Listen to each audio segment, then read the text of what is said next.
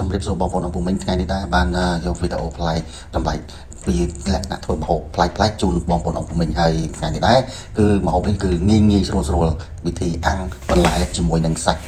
គ្រឿងសមុទ្រហើយនឹងសាច់ជ្រូកចិញ្ច្រាំមានពងទាពងក្រូចដូចតែដូចតែបងប្អូនបានឃើញជាក់ស្ដែងហើយដំណាត់ ការដំបូងនោះបងប្អូនត្រូវលាងបន្លែស្អាតពីបីទឹកទៅដើម្បីអនាម័យអឺចំពោះសាច់ដូចជាមាន oyster ពងក្រួចពងមាន់ពងទាហើយនឹងម្សៅមីស៊ូយើងរៀបចំស្រាច់ស្រាច់ដូចជាផ្សិតផ្សិតបញ្ជុលហើយនឹងខ្ទឹមនេះដែរយើងលាយបំពងជាមួយនឹងខ្ទឹមចិញ្ចាំវាទៅមួយម្ទេសម្ទេសយើងម្ទេសឆាជុំគ្នាទៅជាមួយនឹងខ្ទឹមក៏បំពងខ្ទឹមស្រស់ជុំគ្នាទៅជាចុងក្រោយបើបងប្អូនឃើញបន្លែនេះចិត្តឆ្អិនហើយបងប្អូនត្រូវដាក់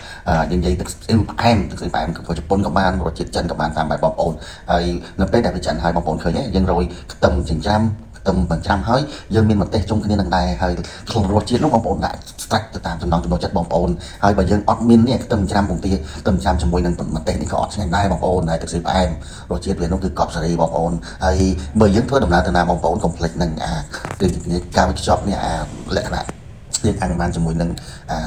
ប្រអប់បាក់អាំងដែលមានអាលូមីញ៉ុមនេះហ្នឹងណាបងប្អូនគឺងាយស្រួលហើយដល់ពេលដែលយើងញ៉ាំហើយញ៉ាំហើយតាមរមណីយដ្ឋានណាមួយយើងអាចសម្អាតស្អាត តាមកន្លែងដែលយើង